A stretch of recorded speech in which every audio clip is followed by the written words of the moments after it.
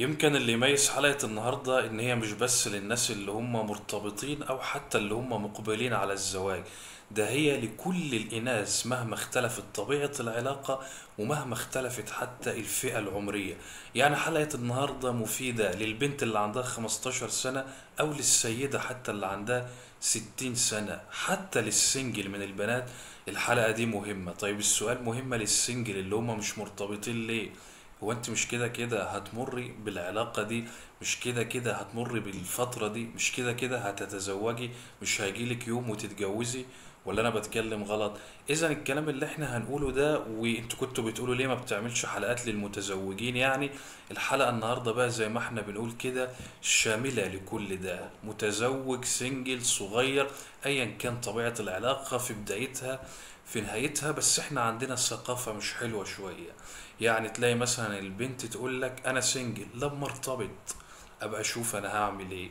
لما نتجوز ويجي ال- الميعاد نبقى نشوف بقى وفي الفترة دي نبقى نشوف هنعمل إيه. لا ما هو المشكلة إن لما تيجي تشوفي وقت ما الحاجة بدأت معاكي هيبقى صعب عليك على فكرة لأنك أنت بدأت تتعاملي اخترت الأسلوب اللي بتتعاملي بيه مع الطرف الآخر خلاص وبدأ يتعود عليه منك. فهيبقى صعب ما بقولش مستحيل عليك إن أنت تغيريه مش بالسهولة اللي أنت متخيلها.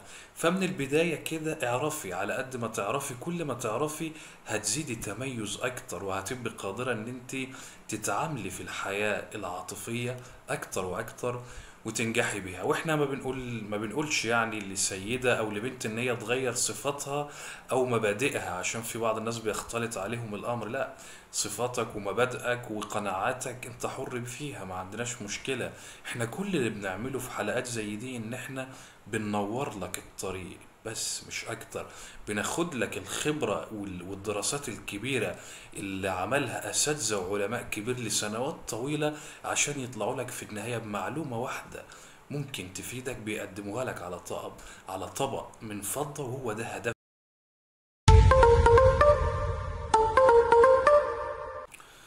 أهلا بكم. سريعا كده برحب بكم. يا ريت الجديد يعرفنا بنفسه ودوسوا لايك الحلقة دي من الحلقات المهمة قوي وبتسألوني كتير قوي وأنا بعتذر إن أنا مقصر يعني معاكم في الرد سواء على الإنستجرام أو على الفيسبوك رجاء محدش يزعل مني.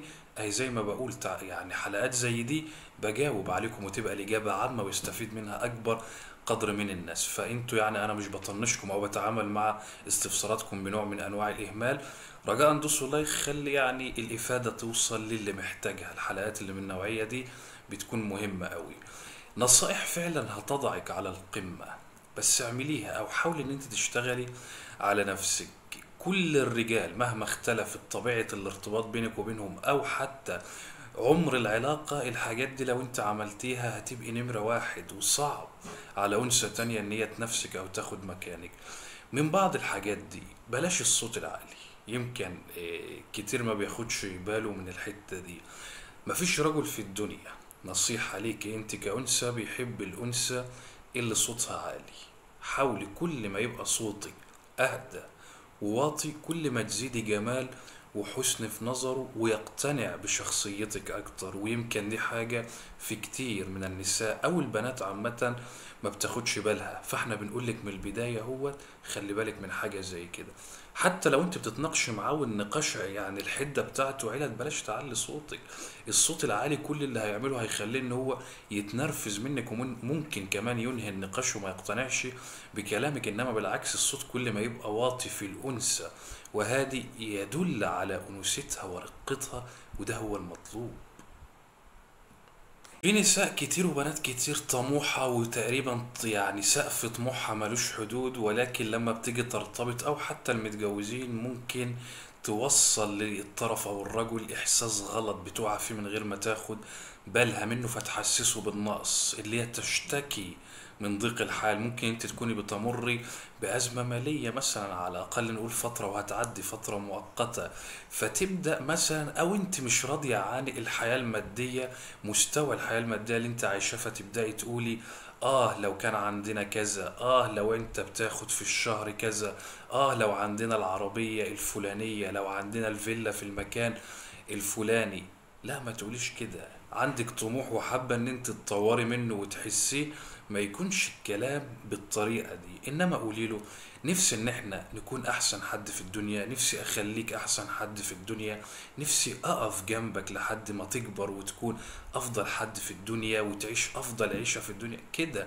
هي حاجات بسيطة قوي بس أنت ما بتاخديش بالك منها بس كلها جنب بعضها ممكن تتحكم في فشل العلاقة في النهاية. يعني حولي هتقولي اللي أنت عايزاه أهوت بس الطريقة بتختلف يا جماعة. الطريقة هي اللي ممكن تخليك تعرف تكسب اللي قدامك وهي اللي ممكن تخليه ينفر منك وتخسره تماما. يبقى ما تشتكيش من ضيق الحال بالطريقة دي ولكن حوليها لطريقة إيجابية في التعامل مع الرجل عامة. تالت حاجة مهمة قوي بلاش تحط الطرف اللي انت مرتبطة فيه إيه، مرتبطة بيه عفوا في موضع مقارنة دايما مع حد تاني. يعني مثلا بنلاقي واحدة بنت مثلا مخطوبة أو حتى متزوجة عادي ما إحنا قلنا الحلقة يعني عامة لأي حد. تلاقيها مثلا وهي بتتكلم معاه تقول له أنا خطيب أختي مثلا جاب لها هدية بال- بالسعر الفلاني.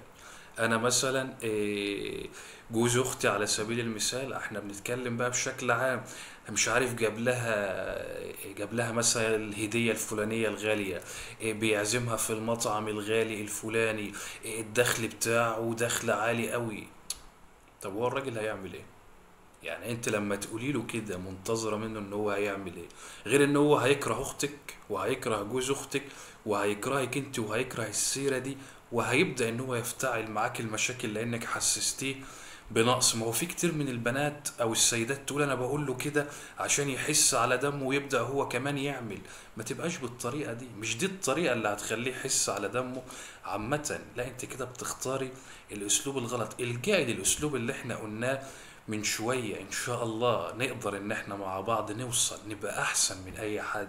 عايزة تتكلمي مثلا توصلها له بشكل اندايركت غير مباشر أه ممكن تحكي مثلا أنا أختي والله مثلا حالتها المادية مرتاحة بس أنا واثقة إن بشغلك وتعبك وأنا كمان جنبك هنوصل وهنبقى أفضل من أي حد أو هنبقى حتى زيهم. أنا بقول كده ليه هدف؟ يعني أنا بجيب المثال ده ليه هدف لأن في كتير من الإناث بتلجأ للمقارنة بالأقرباء. يعني السيدة عامة لما تيجي تستشهد بمثال أو نموذج نفسها إن هي تبقى زيه لما تكلم جوزها هتكلمه يا عن جارتها يا عن أختها يا عن قريبتها صح؟ فأنا كان لي هدف لما ضربت مثال بالأخت أو القريبة أو الجارة أو حتى الزميلة. الحاجات دي مهمة قوي حاجات بسيطة ولكن صدقوني مهمة قوي على طبيعة الرجل أو مهمة قوي في التأثير في شخصيته استمالته أو إن أنت تخليه ينفر منك. كل الرجال يعني إيه، تتفق إن هي تحب المرأة المرحة أكتر من النكدية أو اللي ضاربة بوز أو اللي معقدة الدنيا. هو في المشكلة إن في بعض الإناث متحفظة قوي. فالتحفظ ده بيقلب معاها لجد قوي زيادة عن اللزوم وصل لمرحلة الخنقة والنكد. إحنا مش بنقول إن أنت تبقي مثلا متساهلة في كل حاجة أو في أي حاجة ولكن خليكي أقرب للمرح خليكي أقرب إن أنت تكوني يتقال عنك مرحة لأن الرجل بيحب الأنثى اللي من النوع ده وبينفر جدا من الأنثى اللي هي النكدية أو اللي بتكبر المواضيع أو اللي حاجة قد كده تلاقيها عملت عليها دراما جامدة قوي وزعلت. مفيش رجل في الدنيا بيحب الأنثى على فكرة اللي من النوعية دي. وإحنا قلنا قبل كده الموضوع سهل. ابتسامة مع ضحكة خفيفة مع نكتة من أي فيلم أي مسلسل. حد دمه خفيف قريبك قال حاجة عادي ممكن في نص الكلام أما يجي فرصة تقوليها. خلاص بقيت شخصية بعدت عن النكد. وهو ده المطلوب. إحنا مش بنقولك إن أنت تكوني كوميديانة يعني من الدرجة الأولى ولكن اللي تقدري تعمليه اعمليه. ما تخليش نفسك تسمحي لنفسك إن أنت تنزلقي. في المنحط. اشغلي وقت فراغك بأشياء مفيدة. إزاي؟ إحنا ممكن نسهل. يعني لو أنت مثلا ما معكيش القدرة أو مش حابة إن أنت تعملي دراسة جديدة تعملي مشروع جديد ما عندكيش الامكانيات في حاجات بسيطة ممكن أنت تشغلي بالك. وأنا ليا هدف لما اقولك اشغلي بالك إيه؟ اشغلي وقت فراغك بأشياء مفيدة. هي الفكرة إن الشعور بالملل جاي من الفراغ. يعني أنت لما تحس إن أنت قاعدة ملانة ده نتيجة للفراغ. وما دام وصلت للملل إذا هتوصلي لحالة نفسية سيئة ما بعد ذلك هتؤدي للاكتئاب وده اللي إحنا مش عايزين نوصله إزاي؟ أنت مثلا لو سيدة الدخل بتاعك يعني زي معظم الناس اللي هو الدخل المتوسط أسرة متوسطة أو أسرة بسيطة. اتعلمي مثلا إن أنت على سبيل المثال تطرزي اللبس بتاعك. بدل ما انت مثلا تودي لحد إيه، يعمل الحاجة دي وياخد فلوس منك. اتعودي مثلا انت تذاكري لولادك لو هم لسه مثلا في مرحلة عمرية يعني متقدمة بدل ما تجيبي مدرس خصوصي وتتعرضي للاستغلال المادي بتاعه. حتى لو انت بنت مش مخلفة لسه ما اتجوزتيش هاتي أخوك الصغير هاتي ابن أختك هاتي أي حد. ذاكري له فهميه حاجة علميه حاجة حفظيه أي لغة أي كلمة أنت عارفاها بالإنجليزي مثلا أو بالفرنساوي أي حاجة. هتبص تلاقي أنت حبيتي يومك لأنك بقيتي بتعملي حاجة مفيدة. ما حسيتيش إن اليوم بيبدأ وينتهي على الفاضي وإن أنت عايشة كده بدون أي فايدة وبدون أي لازمة. ما هو الشعور ده عن نفس البشرية بيديها طاقة إيجابية حلوة قوي. إحنا حاربنا الملل وحاربنا الفراغ وحاربنا الاكتئاب على قد ما نقدر وإذا كنت تقدر إن أنت تعملي أكتر من كده تشغيلي وقت فراغك بأشياء أكتر من كده وعندك الإمكانية والقدرة أهلا وسهلا.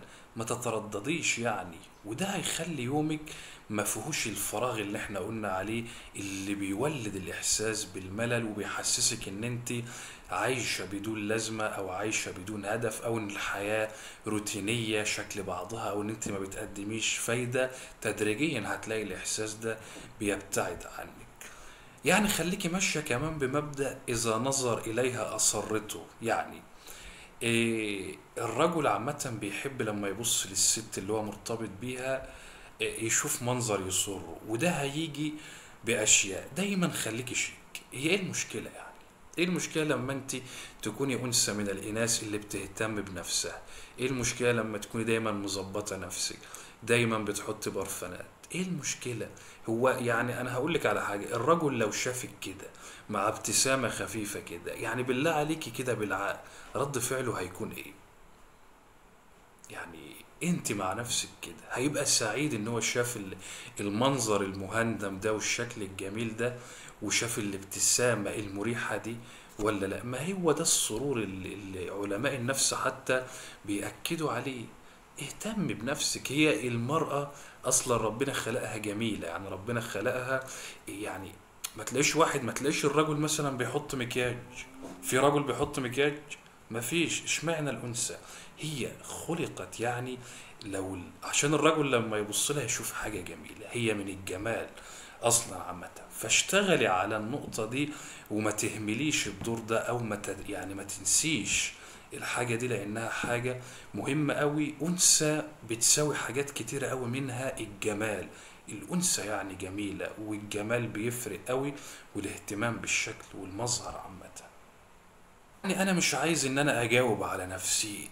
جاوبوا عليا في التعليقات وأنتوا عارفين إن أنا قريب منكم قوي وبقرأ تعليقاتكم وبتعرف كمان عليكم من خلالها. أنثى بالله عليكم. بتعمل اللي إحنا قلناه ده أو فيها المقومات دي. هتبقى مميزة ولا لا يا جماعة؟ جاوبوني. جاوبوني ولو شايفين إن مش هتبقى مميزة وحياتها هتبقى أفضل اكتبوا لي كلامك غلط ومش مش شايفين إن هي هتبقى كده.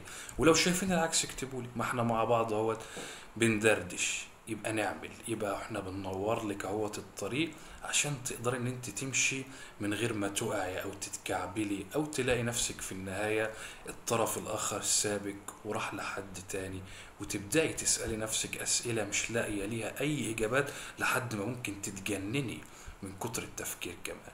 الحلقة دي من الحلقات المهمة أنا بتمنى منكم تدوسوا لايك رجاء عشان توصل لأكبر قدر.